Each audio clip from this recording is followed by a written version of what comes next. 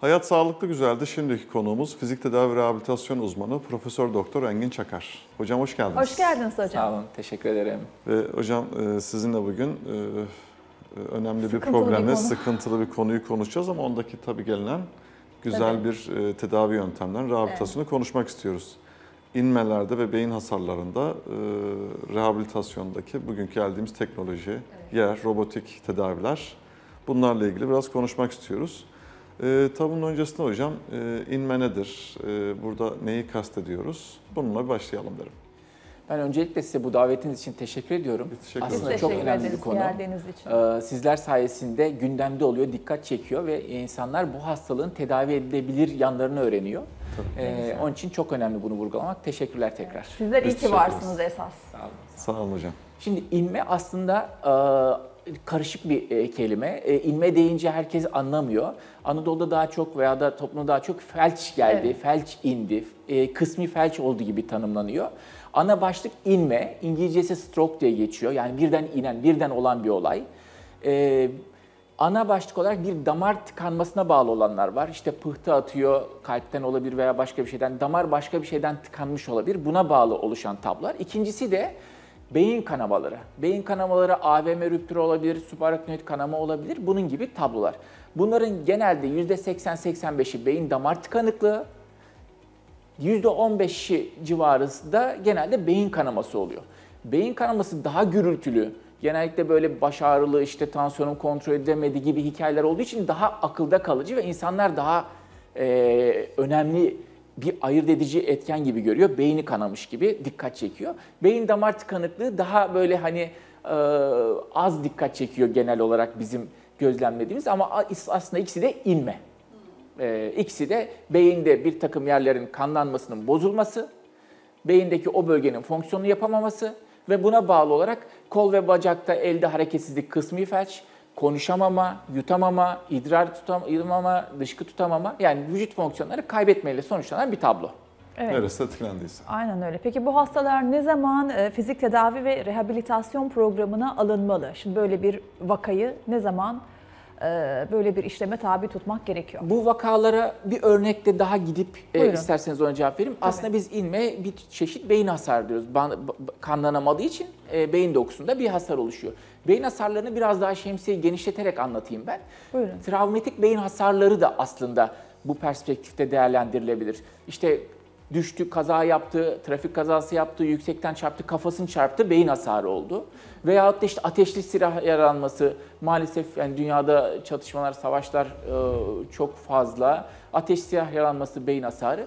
Veyahut da kalbi durdu, çalıştırıldı ama o sırada beyin oksijensiz Oksijen kaldı, alamadı. beyin hasarı. E, veyahut da işte şofben zehirlendiği veya da karbon monoksit zehirlenmesi oldu, oksijen yeterince gitmedi beyin hasarı. Dolayısıyla da beyin hasarı büyük bir şemsiye. Tabii. Bunlarda inme önemli bir alan kapsıyor. Çünkü sayısı fazla. E, Türkiye'de yaklaşık yılda 200 bin kişinin inme geçirdiğini düşünüyoruz. Resmi net rakamları olan Amerika Birleşik Devletleri'nde her sene 700 bin kişi inme geçiriyor. Bunun 500 bini yeni inme, 200 bini mükerrer. Hani iyileşmiş, atlatmış bir şekilde ama tekrar Tekrar. inme. Dolayısıyla da inme ana başlıkta daha çok yer kaplıyor. E, diğer beyin hasarları da bu perspektifte değerlendirildiğinde tedavisi birbirine e, yakın Evet. bir e, yol izliyor. Bu noktada baktığımızda ne zaman başlanmalı? Ne zaman başlanmalı? Bu hastalar ilk önce bize gelmez. Biz fizik tedavi rehabilitasyon uzmanıyım ben. Fizik tedavi rehabilitasyon kliniğine gelmez. İlk önce bu hastalar acile gider. Tabii. Acil değerlendirir. Nöroşirurji değerlendirir. Beyin cerrahisi. Nöroloji değerlendirir. Yoğun bakım süreci olabilir. Cerrahi süreci olabilir veya da girişimsel radyolojinin damarı açma müdahaleleri olabilir. İlk yapılanlar bunlardır. Bunlarla birlikte hastanın birinci, ikinci gününde bizden konsültasyon istenir. Yani hastayı bir fizik tedavi rehabilitasyon hekiminin görmesi istenir. Niye? Çünkü süreç uzayınca bu hastalarda fonksiyonsuzluk hali kalıcı hale gitme riskini taşıyor. Tabii. İkincisi bazı yan etkiler görülmeye başlanıyor. Ne oluyor? Mesela yatak yarası olabiliyor. Ne oluyor? Damarda sertleşme olabiliyor. Ne oluyor? Eklemlerde kireçlenmeye bağlı kısıtlanma olabiliyor. Dolayısıyla bunlar olmasın diye bizden hemen görüş istenir. Biz hastanın durumu eğer stabilleştiyse hemen bir fizyoterapist göndeririz. Hastayı yatağında hareket ettirmeye başlarız. Daha sonra hasta medikal stabilleşince bu işte hastalığına göre 3. günde olabilir, 23. günde olabilir. E, daha stabil hastalarda eğer damar tıkanıklığı ise ilk haftanın sonunda, kanama ve biraz daha zorlu bir süreçte ise ilk hafta ile işte birinci ay içerisinde fizik tedavi rehabilitasyon kliniğine nakil alırız. Ve hızlıca bir nörolojik rehabilitasyon yani nöro rehabilitasyon programı başlar. Evet. Peki bu e, rehabilitasyon programında bugün geldiğimiz nokta nedir hocam? Yani işte e, daha öncesinde işte yürüme hareketleri yaptırılır, kol çalıştırılır, kireçlenme olmasın diye ya da şu elektroterapiler uygulanır. Evet. E, Bugün artık her şeyin bir robotikleri oldu, başka yöntemler oldu. Fizik tedavide biz bu neredeyiz, ne yapıyoruz? Çok güzel. Aslında şöyle dedikleriniz zaten var. Elimizde var onlar cepte. Artı üstüne bir şeyler koyuyoruz. Artık şu anlaşıldı. Eskiden beyin dokusu öldü mü geçmiş olsun bitti deniliyordu. Şimdi beyin dokusunun esnek olduğu yani nöroplastisite diyoruz. Buna bazı e, tercümelerde beynin mucizesi, mucize beyin deniliyor. Çünkü beyin esnek bir doku. Belli bir hücre kütlesi kaybolsa bile etraftaki hücreler o gitmiş hücrelerin fonksiyonunu öğrenebiliyor. Yeniden öğrenebiliyor. Veyahut da aralardaki küçük hücreler var. Bunlara kök hücre diyoruz. Bunlara aynı yeni doğmuş bir çocuğun beynini eğitir gibi eğittiğinizde kaybolmuş fonksiyonları tekrar kazanabiliyor. Dolayısıyla da aslında bizim hayatımızı kolaylaştıran, bu süreci hızlandıran robotik fizik tedavi dediğimiz robotik rehabilitasyon hayatımıza girdi. İkincisi beyni uyaran bir takım tedaviler hayatımıza girdi. Bunlara da nöromodülasyon diyoruz. Dolayısıyla da aslında şöyle bir değişim oldu. Biz beynin iyileşebilen bir doku olduğunu öğrendik. En büyük değişim aslında bizim kafamızda oldu. Yani eskiden hatırlarsanız felç indi, hadi eve götürün bakın yaşadığı kadar yaşasındı çoğunlukla. Şimdi ise hayır yapılacak çok şey var. Ee, bunların hepsini yapalım diyoruz. E, zaten beyin müthiş bir organ yani.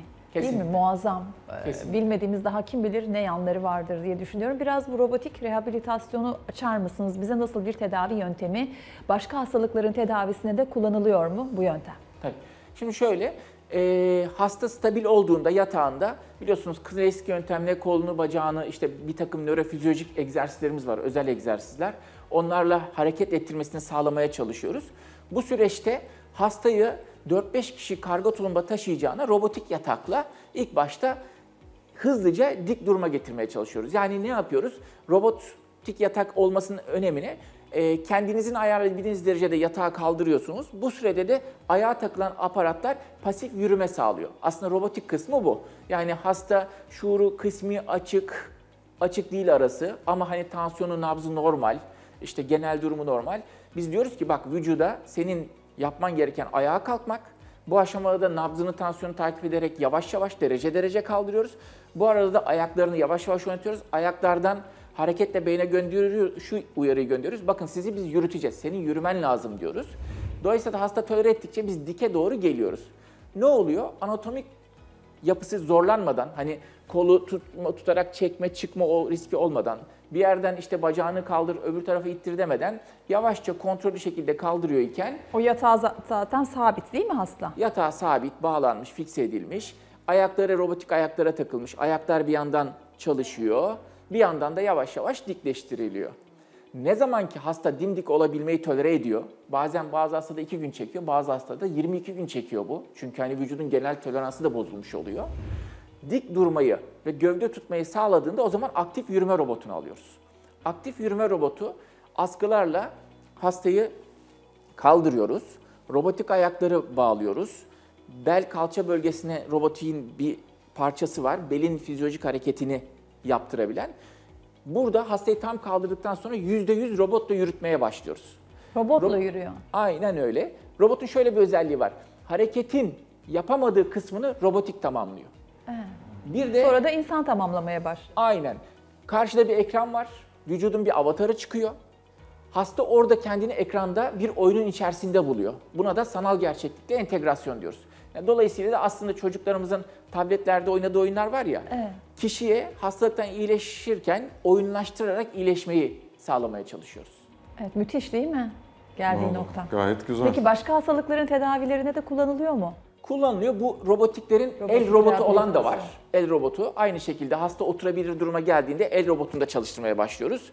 Bu ergoterapi ile eş zamanlı oluyor. Ergoterapistimiz o anda hastanın günlük yaşamda elini kullanması ve yapabileceği potansiyelini saptıyor. Buna göre bir takım fonksiyonlar belirliyor ve bunu yapmasını sağlamaya çalışıyor. Nedir mesela? El hafif hareket ediyorsa diş fırçalayabilir mi? Veya da işte üstünü giyebilir mi? Veya da bir bayansa makyaj yapabilir mi? Bunları tekrarlayıcı bir şekilde çalıştırıyor. Bu sırada robotik el kol cihazıyla da hasta tekrarlayıcı bir şekilde oyun oynayarak ekranda bu oyun bazen bardağa su doldurmak, bazen işte altın toplamak, bazen ağaçlardan meyve koparmak olabiliyor. Tekrar tekrar tekrar tekrar o hareket beyne öğretilmeye çalışılıyor. Dolayısıyla da beyin hasarında kullanabiliyoruz. El kolla ilgili sinir hasarı olan diğer hastalıklarda kullanabiliyoruz. Yürüme robotları özellikle omurilik hasarlı hastalarda kullanılabiliyor. Eğer boyundan aşağı yarı omurilik hasarı ise el kol robotu kullanılabiliyor. Dolayısıyla da nörolojik hastalıkların çoğunda kullanabiliyoruz. Az görülen Guillain-Barré gibi hastalıklar, yani bunlar sinir ucu iltihabının çeşitli formları. Bazı Parkinson hastalarında kullanabiliyoruz. Dolayısıyla bazı e, motor e, hastalıklar dediğimiz kas hastalıklarında kullanabiliyoruz. Dolayısıyla da hani fonksiyonları etkileyen tüm nörolojik ve musküler hastalıklarda kullanabiliyoruz. Hocam bu robotik tedavilerde, rehabilitasyonda e, o süreçte hastanede veya rehabilitasyon merkezinde mi kalması gerekiyor? Bir seans ne kadar sürüyor? Gel git mi yapıyor? O süreçte biraz açabilir miyiz? Aslında güzel bir soru. Şöyle, Evet. yoğun bakımdan çıktıktan sonra biz hasta ile ilgili bir öngörü yapıyoruz. Beyinde etkilenen alana ve genel durumuna göre e, başta nakil alıyoruz yatarak. Eğer hasta iyi toparlıyor ise erkenden taburcu etmeyi istiyoruz. Tabii değil mi? Ancak ağır vakalarda genelde 2 ila 4 ay bir yatış öngörüyoruz. Ee, inme vakalarında genelde 2 aya tekabül eder. Ama ağır beyin hasarı ise, travmatik beyin hasarı veya da büyük bir kanama ise o zaman bu 4 aya kadar filan sürebiliyor. Ama temel fonksiyonları kazandı. Hasta evden gelebilecek hale geldiyse hemen ayaktana dönüyoruz. Yatan yapmamızın önemi şu. Her zaman metabolik takip ediyoruz. Karaciğeri, işte böbreği ne durumda, solunum fonksiyonları ne durumda, beyinde tekrarlayıcı bir mesela baktık ki uyku hali gelişti. Acaba yeni bir inme mi gelişti? Hani çünkü tekrar tekrarlayan inme riski çok fazladır. Bunu görebiliyoruz. Karnı ağrıyor. Acaba başka bir şey mi? Bağırsaklarda bir problem mi var? Bunları görebiliyoruz. Ayrıca da hastanın 5-7 farklı seans uygulamasına imkan tanınıyor. Mesela sabah egzersizini yatağında fizyoterapist de yapıyor. Yarım saat dinleniyor, gidiyor robotik yürüme yapıyor. Geliyor odasına yarım saat 45 dakika dinleniyor. Ondan sonra el kol çalışmasına gidiyor.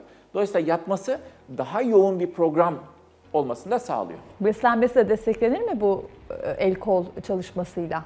Aslında Hastanın? çok güzel bir yere değindiniz. Bu hastalarda yutma sorunu da çoğunlukla oluyor. Burada ne yapıyoruz? Yutma testi yapıyoruz. Yutma testinin birkaç şekli var. Bir kamerayla kulak burun boğaz ve yutma terapisti ile birlikte bak- bakarak yutabiliyor mu bunu görebiliyoruz. İkincisi video fluoroskopi diyoruz. Çeşitli kıvamlarda gıdaları boyuyoruz. Bunları skopi dediğimiz röntgen ışığının formunu düşünün. Ağzına veriyoruz, yutuyorken ne kadar geçiyor, ne kadar geçmiyor, akciğere kaçıyor mu, kaçmıyor mu ona Kaçmıyor bakıyoruz. Çok önemli çünkü Kaçak yutmayı varsa- unutuyor. Çok önemli çünkü yutmayı unutuyor hasta bir süre sonra. Evet. Kaçak varsa aynı nasıl fizyoterapist el kolunu çalıştırıyor, yutma terapisti yutmayı çalıştırıyor. Ona göre de bir takım tedavi modaliteleri var. Ve hazır olduğunda uygun gıdayla beslenmeye geçmeye çalışıyoruz. Bu süre uzayacaksa o zaman bazen mideye tüp taktırdığımız oluyor. Bazen bu süreci işte burundan hortumla dediğimiz nazogastrik sonda ile besleyerek atlattığımız oluyor. O hastanın durumuna göre e, bizim karar verdiğimiz farklı durumlar oluyor. Peki hocam e, tedavilerde rehabilitasyon bu durumlara geldiğimiz bir günümüzde artık normal eski klasik tedavilere göre e, yapılan mutlaka bir çalışmalar vardır. E, inme geçirmiş bir hastanın normal hayata dönüşü yüzdelik olarak ne gibi bir değişiklik sağladı bunu çok merak ettim. Aslında şöyle söyleyeyim ben size. Veya böyle bir çalışma var mı? Yoksa İki şey var burada. Ee, Bir, beyindeki hasar iyileşebilen bir durum. Çok güzel. Evet hani ölüm riskleri var, hastanın hayatını kaybetme riskleri var. Yan etkiden dolayı yani mesela ilme geçirdiği ilmelerin önemli bir kısmında akciğer veya da idrar yolu enfeksiyonu veya kana mikrop karışmasından dolayı ölümler oluyor. Bu riskler var. Ama onun haricinde bunları iyi kontrol ettiğinizde iyileşme potansiyeli yüksek. İki formül var beyinde. Kullan ya da kaybet. Eğer beyni kullanmazsak, öğretmezsek o dokuyu sonra da o insanı kaybederiz. İkincisi nörorehabilitasyonda şöyle bir şey var. İyi prognoz yani iyi beklentiler ve kötü beklenti kriterleri var. İyilere çabuk karar veriyoruz, kötüye çabuk karar vermiyoruz. Çünkü kötü değişebiliyor. Beyin öyle bir mucizeye sahip olabiliyor. Burada da iyilerde zaten hızlı bir iyileşme oranı oluyor.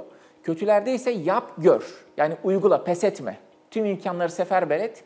Riskleri bil ama iyi yönet ve karşılığını al.